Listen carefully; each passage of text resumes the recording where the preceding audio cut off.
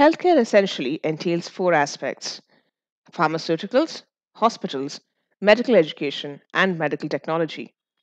Each of these areas requires a greater boost and more so as the nation recovers from the COVID 19 pandemic. Here's a quick look at some of the expectations of the sector from the budget 2022.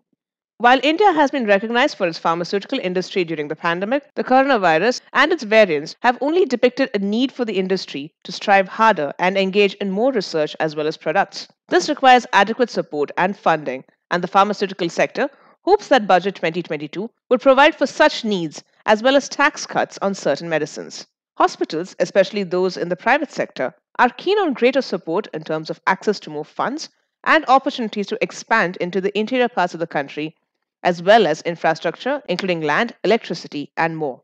Many are also keeping an eye out on the support that would be required for the training of doctors and nurses. Medical technology, which includes stents, prosthetics, and more, is also research driven. Multinational corporations would like the government to reduce customs duties to be able to import life saving drugs and other essential aspects. On the other hand, local manufacturers have expressed a need to hike up the duty rates. Listen to the complete podcast by PT Jyothi Datta only on Spotify.